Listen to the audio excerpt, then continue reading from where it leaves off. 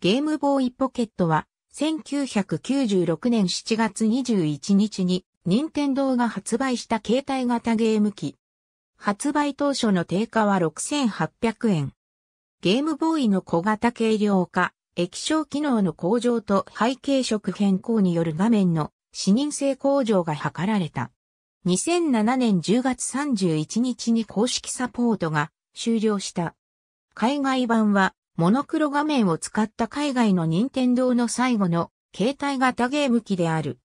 ゲームボーイの開発者であった横井軍平が関わった最後のゲーム機である。横井が任天堂大社の置き土産として横井と共に任天堂の商品を手掛けた滝義弘に3ヶ月で作れと言って完成させた。価格を抑えるため開発に際しては徹底的なコスト削減が図られた。電池の残量を示すランプも外され、外部拡張コネクタの通信ポートもなくせば、コスト削減やさらなる薄型化も望めると廃止が検討された。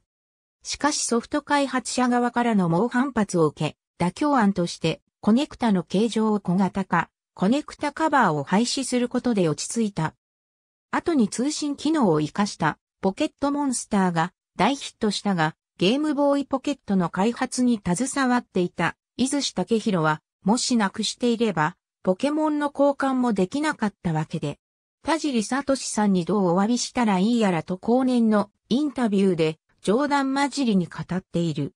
一般モデルのカラーバリエーションは当初は5色、最終的には9色となり、ゲームボーイシリーズ最多のラインナップであった。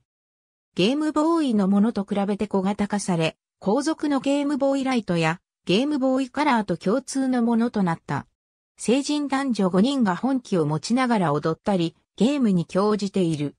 一方で、ナレーターが小さい、薄い、軽い、画面もくっきり見やすくなって、今までのゲームボーイソフトも遊べるとアピールするものであった。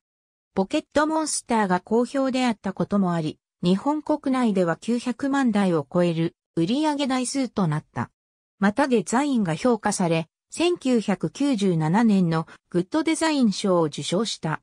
一方で開発に携わった横井は、生前にやらなきゃよかったと述べていたことを、ことの代表取締役社長である久保田和弘は10回している。